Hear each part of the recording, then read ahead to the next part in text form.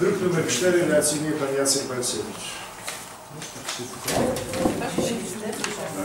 Się przepraszam, ja się pogubiłem.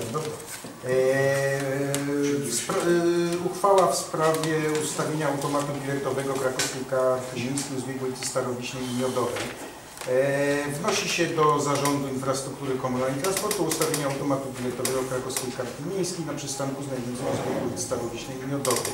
Uzasadnienie jest integralną częścią uchwały. Uchwała wchodzi w życie z dniem podjęcia. Uzasadnienie. Teren Kazimierza, zwłaszcza rejon pobliskiej ulicy Szerokiej i Placu Nowego jest licznie odwiedzany przez turystów, którzy zwłaszcza wieczorem, gdy kioski są zamknięte, nie mają możliwości kupna biletów komunikacji miejskiej, a mieszkańcy do ładowania krakowskiej karty.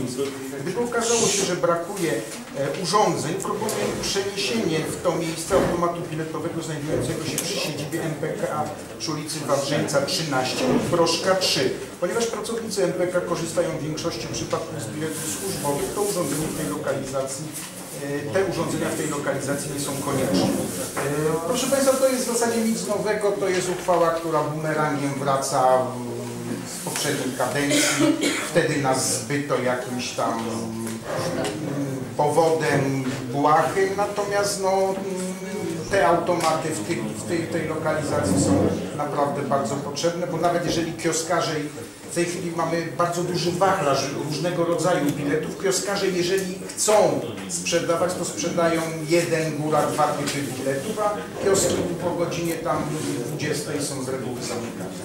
Dziękuję bardzo. Tego projektu? Ja chciałam, tym, ja chciałam tylko dodać, że w tym miejscu był automat biletowy, został zdemontowany, został zdemontowany, podest jest, więc nie ma problemu z tym, żeby ten automat ponownie ustawić w tej lokalizacji.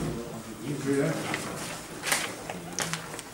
Nie widzę głosów w dyskusji. Proszę w takim razie o przystąpienie do głosowania. Kto z Państwa jest za przyjęciem projektu?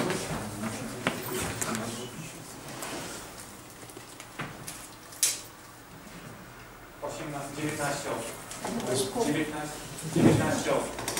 Kto jest przeciw? Nie widzę, kto się wstrzymał.